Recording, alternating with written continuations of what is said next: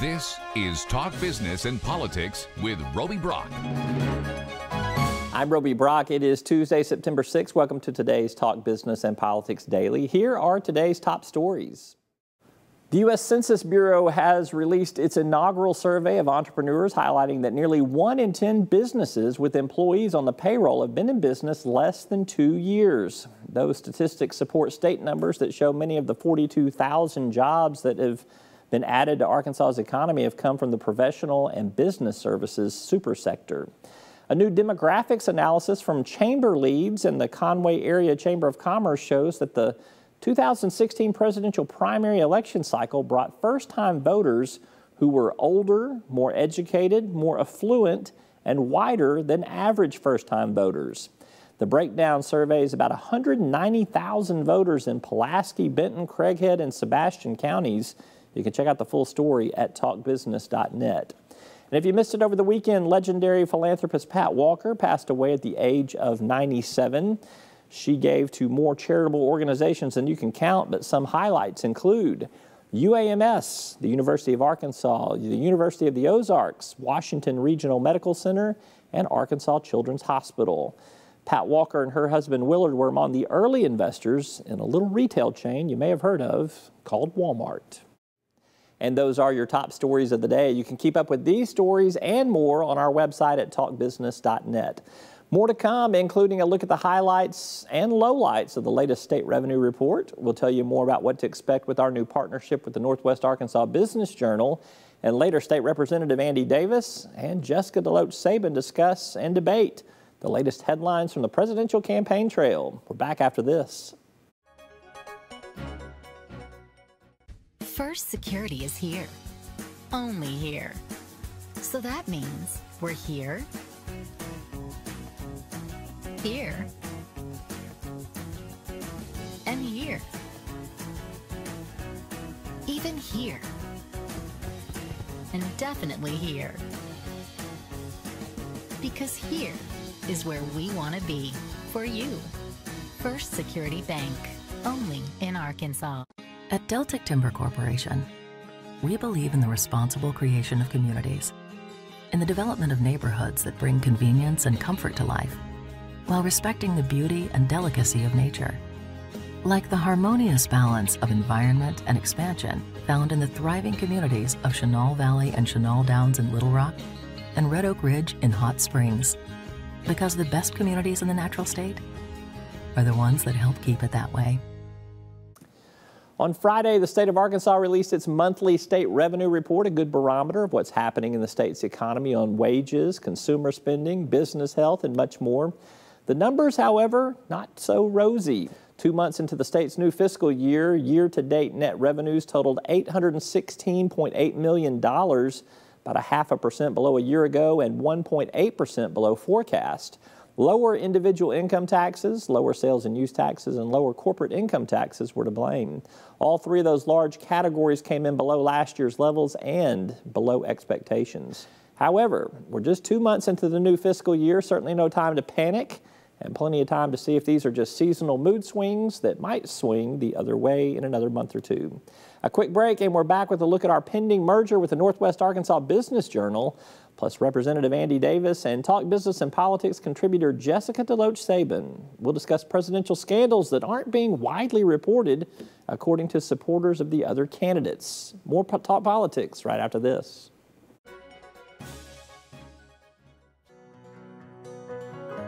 Each day, the promise of our nation begins again. Arkansas and America moving forward. I help make that promise a reality. It's not for everyone, but people everywhere depend on us. Oh, too, Trucking delivers, or everything stops. And that's what drives me.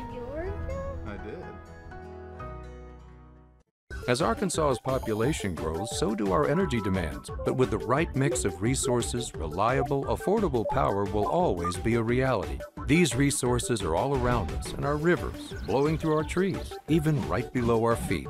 The answer isn't focusing on one resource, it's embracing them all. The electric cooperatives of Arkansas know that a balanced approach to power builds our communities and powers our dreams. Visit themixmatters.com and see why there's power in knowledge. Well, last week, Talk Business and Politics announced that it will acquire the Northwest Arkansas Business Journal. Actually, our parent company announced we buy out and merge with their parent company. The end result, we will soon be offering much more news in Northwest Arkansas. We will be exporting much more news out of Northwest Arkansas to the rest of the state, and we will be importing much more news into Northwest Arkansas from the rest of the state. All of that is good for you because the resources we're adding with the journal will allow us to do more in all regions of the state as we grow as a media organization. So stay tuned because we plan to roll out new products and services for receiving our news in Northwest Arkansas and in other markets across the state as a result of the deal. I'd love to know what you think and what you would like to see. If you'll drop me an email at roby at talkbusiness.net and share your thoughts, it would be appreciated. The idea line, it is open. A quick break, and still to come, Representative Andy Davis and Talk Business and Politics contributor Jessica DeLoach Sabin discuss and debate headlines from the presidential campaign trail. There's more right after this. Circuits turn on the lights by making a connection, by closing the loop. At Entergy, we believe our economy is circular too. What you put in comes back. So we invest billions in new infrastructure, which helps attract new industry, which helps create new jobs. We partner with local communities to electrify the economy, and together we power life. Entergy. You've likely heard of the Great Arkansas Treasure Hunt. In fact, you or your business may have property to claim in the hunt. But where does this treasure come from? Businesses like yours. The law calls it unclaimed property. If your business is holding money on its books that you've not been able to return to the owner, it's most likely unclaimed property and the law requires it to be sent to the state auditor's office each year. Auditor Andrea Lea's office can make the process for businesses to comply with the law easy and straightforward. Help us help you return Arkansans' unclaimed property at auditor.ar.gov. Representative Andy Davis is a Republican from Little Rock. Jessica DeLoach Sabin is our resident Democrat on the Talk Business and Politics website. They are both here to play a little game that we like to call the presidential headlines. Did you like that mm-hmm. introduction to you? I loved it. Yeah, did you like that introduction to you? It works. Yeah, it worked. That's right. You've been jet setting, flying around the globe, haven't you? I we appreciate you coming back and doing a stint with us. Where have you No been problem. exotic lately, Andy? Uh, I mean, you haven't been to Eastern Europe or any place like No, Jessica. no, Arch Street, West Little Rock. Yeah. that's Yeah. about Work in the district. Saline Work in the district. Yeah, I got you. yeah. You're at the Salt Bowl. Salt Bowl, absolutely. Comparable, Nice. I think. Very similar to Austria. Yes.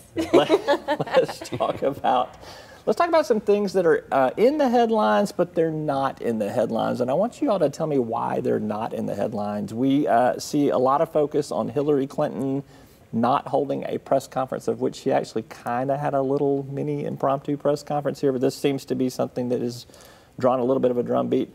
Donald Trump, of all the scandals of Hillary Clinton's kind of pay to play alleged uh, activity, Donald Trump actually has a scandal out there that could qualify as well. Why are we only seeing certain things being reported as scandals in the media? Andy.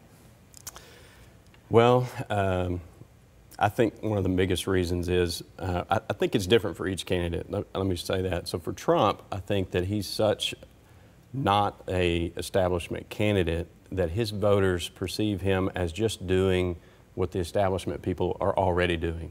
They assume that these, you know, pay for play, quid pro quo things are going on all the time anyway. So if you were to report on something that Trump did, it's just, okay, well, everybody else is doing it.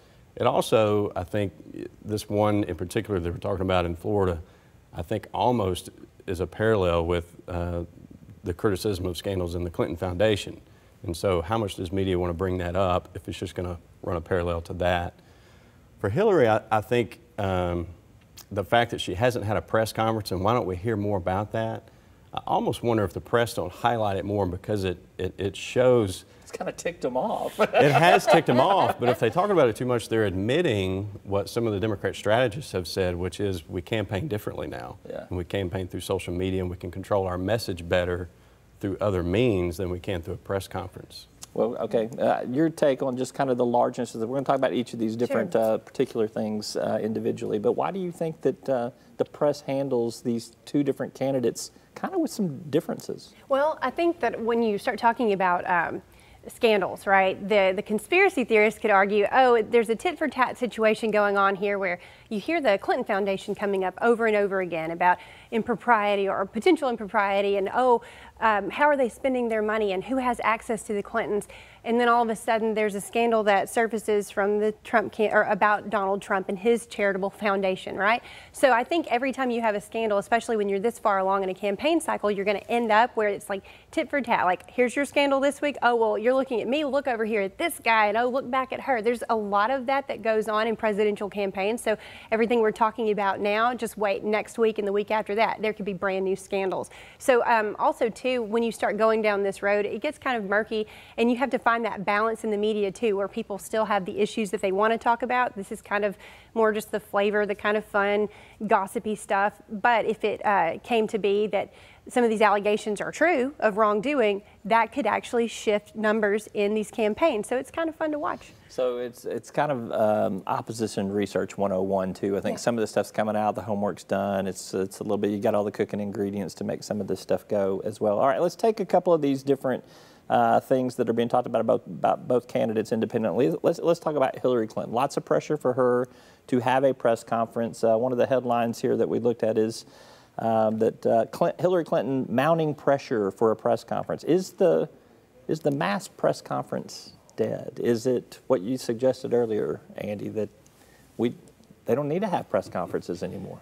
I mean, I don't know. It, it, it, it could be. I mean, you can certainly make the case that the mass press conference is dead with, with the advent of social media. And like I said earlier, all the ways a, can, a campaign can push their message without traditional press conferences and without those questions.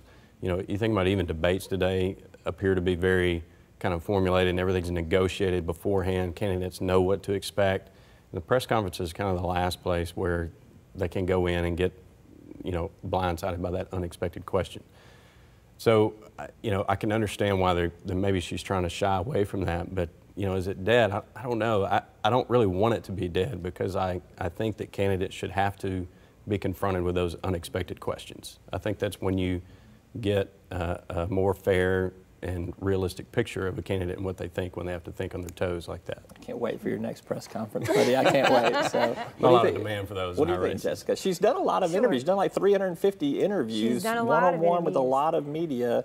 It would be hard pressed for me to say that there hasn't been some question that she should answer that she hasn't. Sure. Well, I think a lot of the time when you hear people complaining about her not having a press conference, you have to ask yourself, okay, if she had one right now, would you care? Would you tune in? I mean, what's so funny is that now that she's inching more toward this press conference mode, it wouldn't take much to have the media just to cut away as soon as she started. It's just something to complain about. That said, people, they appreciate transparency and they look at press conferences and they equate those two things that you're willing to stand before us and take whatever question is thrown your way knowing that the media really is interested in blindsiding uh, politicians very often in press conferences, I think it's inevitable that she will have to participate in them. You've got debates coming up. There will be follow up to some of the things that are said in these debates. So press conferences aren't dead, but I do think the issue's a little overblown. All right, I'm going to advocate right now with the two of you and everybody that's going to watch this. We need prime minister's questions. That's what we need in America, the- twice a week, Sure. combative style there. All right, another would-be scandal here. This has gotten not a lot of press attention, but uh, Donald Trump made a contribution through his charitable foundation to the uh, Florida Attorney General, and all of a sudden, magically, some investigation of Trump University goes away. Um, is this a quid pro quo situation? Because this is what Hillary Clinton's getting hammered about with her connections and her access Right. uh, through State Department and the Clinton Foundation. Well, and if that criticism is good for her, then it's certainly good for him. I think what's alarming about this is uh, it's the fact that the, the listing of that contribution wasn't named properly. And it, it was named in such a way that would make one think that it was almost intentional, uh, an attempt to try to cover that money trail up. It wasn't very smart. And it also puts the uh, foundation at risk because why not audit it? You don't know who you've given $25,000 to and it's listed improperly. I would be digging in on that. the fact that the IRS fined him $200 or $2,500, I think that says something. It says, hey, we don't think that what you did was right, and we're looking at you. Um, you know, who's to say whether or not that contribution in 2013 is what changed the Attorney General's mind? Because if it is the case that it stands that that the state of Florida wouldn't have had to engage because of what was going on through New York's judicial system, if it would have um, covered the entire nation and all of those right. aggrieved customers, then that's fine. But still, it looks bad. And perception in politics is really everything. If you took out the name Trump and put the word Clinton in there, would this be a scandal of a different proportion? I don't know. I, I, go back to what I said earlier. You know, I, I think for the the general public, and I think when you're talking about Trump, you have to remember you're not thinking about people like us that talk about politics day in, day out. You're, think, you're talking about people that are at work all day, they're not thinking about this, and they see Trump as just a regular guy like them. So regular the, billionaire the, like Bill. Yeah, yeah, yeah, yeah. yeah.